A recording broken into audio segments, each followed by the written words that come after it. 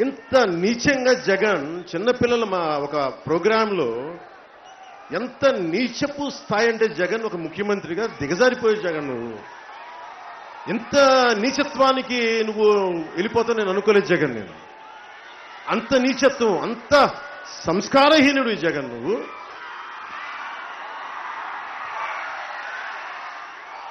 Sir ఎన్ని వదిలేద్దాం. గత కొద్ది రోజులుగా మీ అందరికీ తెలుసు. మధ్య మధ్యలో ఒకసారి కనిపించి వెళ్దామని వచ్చాను అంత గురించి దాన్ని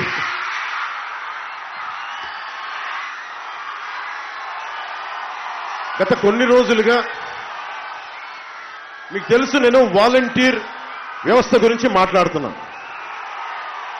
నేను నిజంగా చెప్తున్నాను వాలంటీ రెండున్నర లక్షల మంది వాలంటీర్లు నా సోదర సమానులు నా అన్నదమ్ముల వాళ్ళు నా అక్క చెల్లెళ్ళు వాళ్ళు మా చెల్లెళ్ళు వాళ్ళు. ఏ రోజు కూడా నేను వారిని పొట్టకొట్టాలని నా ఉద్దేశం కాదు. మీకు ఐదు వేలు వస్తే వాలంటీర్స్కి చెప్తున్నాను. ఐదు వేలు వస్తే ఇంకొక ఐదు వేలు మీకు వేసి ఇచ్చే మనసున్నవాడిని ఎప్పుడు మీకు పొట్ట కొట్టాలని నాకు కలలో కూడా అనుకోను. కానీ జరుగుతున్నాయి ఏం జరుగు జరుగుతున్నాయి చెప్పే క్రమంలో ఏ రోజు కూడా నేను మిమ్మల్ని బ్లేమ్ చేయట్లా. ఒక మామిడి పండ్ల బుట్టలో కుళ్ళిపోయిన మామిడి పండ్లు రెండుంటే మొత్తం కుళ్ళిపోతాయి. అలాగే వాలంటీర్ వ్యవస్థలో అందరూ చెడ్డవాళ్ళని నేను చెప్పట్లా. మనం ఇక్కడ మాట్లాడుతుంది అసలు వాలంటీర్ వ్యవస్థ అవసరమా?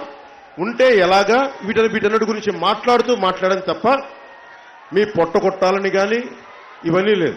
మీలాంటి యువత కోసమే కదా?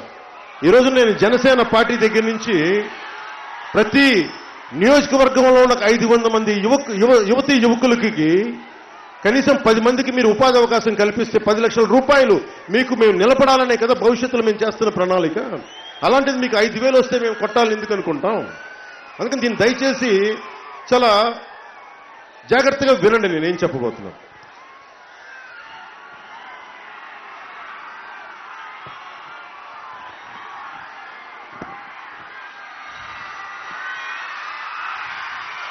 వాలంటీర్ వ్యవస్థ అంటే ఏంటి?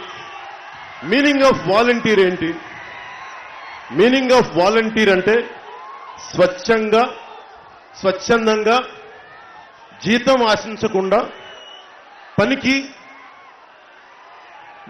పని పనికి పూసుకునే వ్యక్తి. అంటే ఏ మాత్రం డబ్బులు ఆశించకుండా మీకు సహాయం చేయగలిగే వ్యక్తి. ఇక్కడున్న మన వాలంటీర్స్ ఉన్నారు. జనసేన పార్టీ కోసం మేము వచ్చి సహాయం చేస్తాం. ఇక్కడ మీ దగ్గర ఉన్నారు యువతలు. యువతులు దేర్ వాలంటీర్స్ వాళ్ళేం డబ్బులు తీసుకోరు. మనకు వచ్చినందుకు మనం అండగా ఉంటాం. అంతేగాని డబ్బులకు చేయటం కాదు వాలంటీరిజం అంటే. సో ఈ ఉదాహరణకి వాలంటీర్లో జగన్ నీ వాలంటీర్ వ్యవస్థకి రెడ్ క్రాస్ వాలంటీర్స్ ఉన్నారు. స్వచ్ఛంద సేవా సంస్థ. నువ్వు శివశివాని స్కూల్లో పేపర్లు ఎత్తుకొచ్చేసినాడు కాబట్టి నువ్వు చదువుకోలేదేమో కానీ నీకు రెడ్ క్లా రెడ్ క్రాస్ వాలంటీర్ గురించి నీకు చెప్తాను కొంచెం విను.